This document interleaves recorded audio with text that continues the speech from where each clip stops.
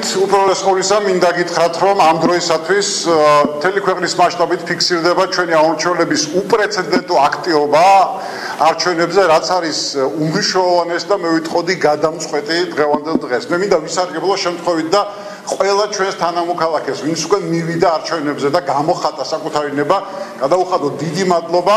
დანარჩენებს კი ყველას მოგიწოდოთ რომ ჯერ კიდევ არის დრო დარჩენილი თითქმის 6 საათია უბნების დახურვამდე ასე რომ მიდით მიდით თუ დარჩებით სახში და გამოხატეთ თქვენი ნება გასაგებია და უყურებთ ყველა დღეს ჩვენ თვალსაჩინოს რომ ხელისუფლება მაქსიმალურად ცდილობს რომ გამოიყენოს ყველა ის გაყალბების მეთოდი რომელიცაც აქამდე რომელიც ჩვენ აქამდე გვინახავს და რომელიც გამოუყენებია მაგრამ მერწმუნეთ ყველა ის მეთოდი გაყალბების ნებისმიერი მცდელობა არის არაეფექტური როდესაც ამომრჩეველი მიდის საარჩევნო უბნებზე და როდესაც ჩვენი აქტივობა არის მაღალი. პრაქტიკულად ჩვენი აქტიურობით ჩვენ ხელფეხს უბოჭავთ ხელისუფლებას, რომ ნებისმიერი манипуляცია მოახდინოს საარჩევნო უბნებზე. ამიტომ მიაქტიურეთ, მიდით თითოეული ჩვენთაგანი დღეს წერს ამ ქვეყნის ისტორიას, დღეს წერს ჩვენი ქვეყნის ხვალინდელ დღეს. ამიტომ თითოეულ ჩვენთაგანზე არის დამოკიდებული როგორ ქვეყანაში გავიგუზებთ ხვალ. პირველ ტურში ჩვენი მოსახლეობა მაჩვენა რომ ის ითხოვცულებებს და პირველ ტურის შედეგები სწორედ ამის მანიშნებელი იყო და მე დარწმუნებული ვარ რომ დღეს ჩვენი მოსახლეობა უკვე საბოლოო და გადამწყვეტ და დამაჯერებელ სიტყვას იტყვის ამარჩევნებზე და ერთხმად დაუჭერს მხარს ამ ქვეყანაში ბრავალფეროვნებას, ბრავალპარტიულობას და განვითარებას. ასე რომ მიდით საარჩევნო უბნებზე. ახლა მე მინდა ორი სიტყვით გითხრათ იმ დარღვევების შესახებ, რომელიც ამ დროისთვის არის შემოსული ჩვენ შტაბში. თქვენ მუდმივად ადევნებთ თვალყურს თუ რა ხდება ზოგადად 20 მუნიციპალიტეტში, როგორც ცდილობს ხელისუფლება, რომ გააყალბოს არჩევნები.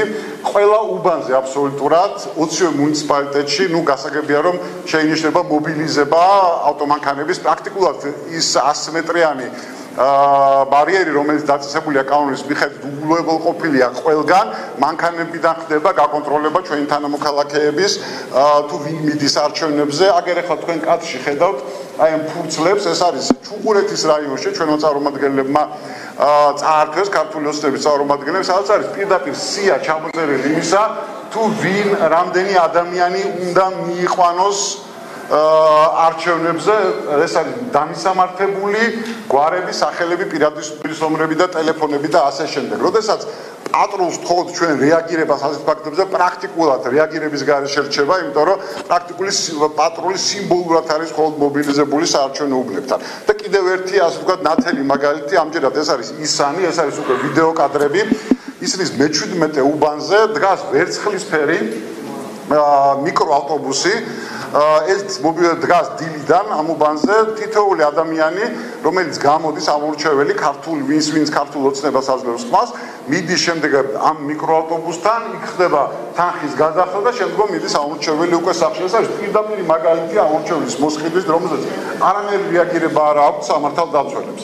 და კიდევ ერთი ფაქტი ეს არის კოვიდ ამომრჩევლების გამოყენება არჩევნების გაყალბებისთვის მხოლოდ თბილისში უკვე 20-მდე შემთხვევა დაფიქსირდა, როდესაც კოვიდ ამომრჩეველი მიდის თავისი რეგისტრაციის მიხედვით აძლევს ხმას, რაც რა თქმა უნდა კანონდარღვევაა და გაყალბების სრულობა. მაგრამ მიუხედავად ყველაფრის ამისა, რაც უკვე დაფიქსირებულია გაყალბების სრულობები და რისი მსვლელობაც კიდევ ექნება, რა თქმა უნდა, ხელისუფლებას, ჩვენ დაიმახსოვრეთ გვიჭირავს ყველაზე მძლავრი იარაღი. ხელში ეს არის ჩვენი ხმა მივიდეთ არჩევნებზე, ნუ ვიმცევთ საშუალებას ქართულ ოცნებას, რომ თქვენი ხმა გამოიყენოს თავის სასარგებლოდ. ასე რომ ჩვენი აქტიურობით მე დარწმუნებული ვარ, ერთად ვიზეიმებთ გამარჯვებას, დრო კიდევ არის, მიდით და იაქტიურეთ.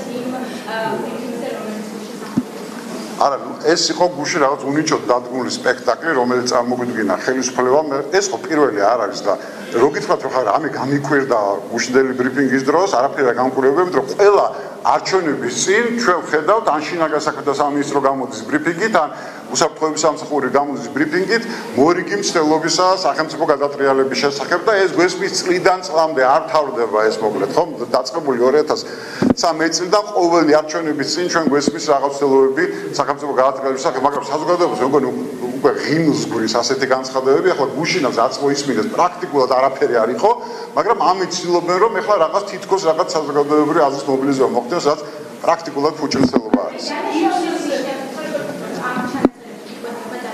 აი რა რა დანაშაული ნიშნები უნდა იყოს, როდესაც ორი ან რამდენიმე ადამიანი ზის რაღაც ოთახში და მსჯელობს უბრალოდ რაღაცეებზე. მსჯელობს, ხო? აი რა დანაშაული ნიშნებზე არის საქმე ზოგადად.